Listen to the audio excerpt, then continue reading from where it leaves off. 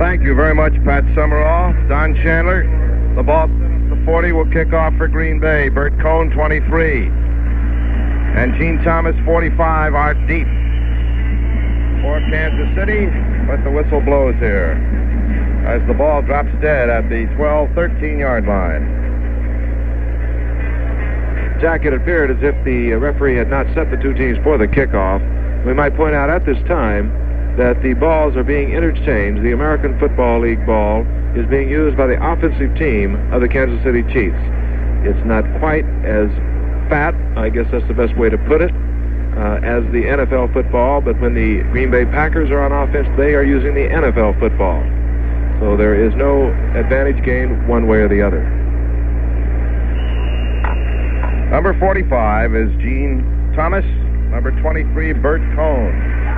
And it is Coan at the 13. And drop. Joe, we're going to go to both locker rooms. Red Mack replacing Long. Red Mack, number 27, bottom of your screen there, replacing Long now.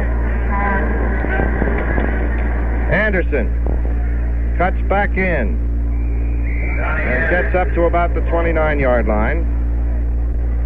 Stopped there by E.J. Holub. And the clock ticking off here. The last few seconds of this first game between the AFL and the NFL champions. Nine, eight. And there's the countdown by the crowd here. The game is over, ladies and gentlemen. Vince Lombardi, the victorious coach of the Green Bay Packers, who win it 35 to 10, getting the congratulations of his team.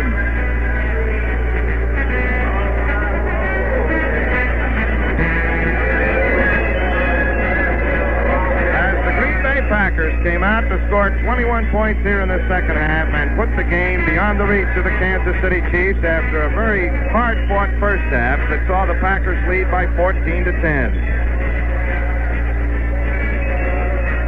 And again, Jack, I can only say it was a great football game that was played by the Kansas City Chiefs. They're playing probably the best team that ever played the game of football, and they played it well for nearly three quarters of this football game before the experience and the power that is the Green Bay Packers took over.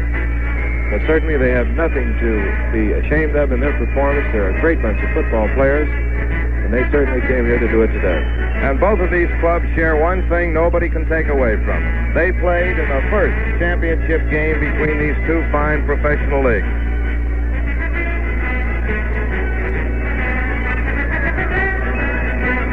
Stay now as our Super Bowl telecast continues from the locker room of Green Bay, the world champions. The Super Bowl was brought to you by Marlboro Filter Cigarettes.